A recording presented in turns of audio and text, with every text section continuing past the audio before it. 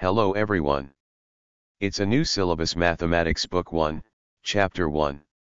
Primes, highest common factor and lowest common multiple. Today, our topic is mental estimation of square root and cube root. As you have learned before perfect squares. There are some perfect squares from 1 to 100. The first one is 1 because 1 into 1 equals 1. The second one is 4 because 2 into 2 equals 4. The third one is 9 because 3 into 3 equals 9. The fourth one is 16 because 4 into 4 equals 16. The fifth one is 25 because 5 into 5 equals 25. Then 36, 49, 64, 81, and the last is 100. We can easily find square root of any perfect square. Like 81, we know that, there are two same numbers we multiply together to get 81. So, the square root of 81 is 9 but what will happen, if we find the square root of 80, which is not a perfect square? There isn't any two same number which we multiply to get 80. Unfortunately, we cannot find the square root of 80.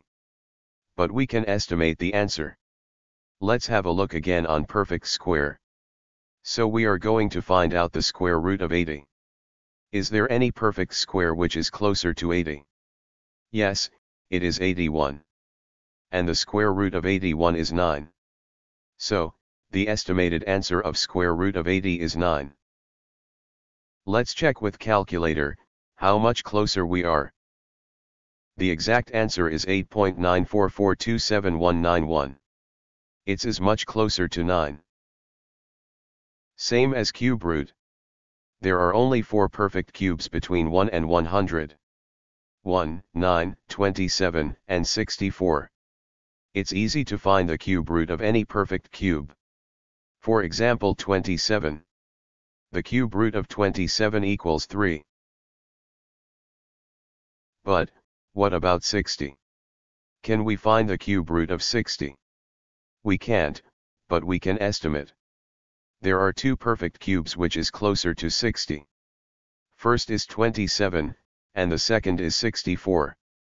Now, which one is much closer? As you can see, 64 is much closer than 27. So, the cube root of 60 equals 4.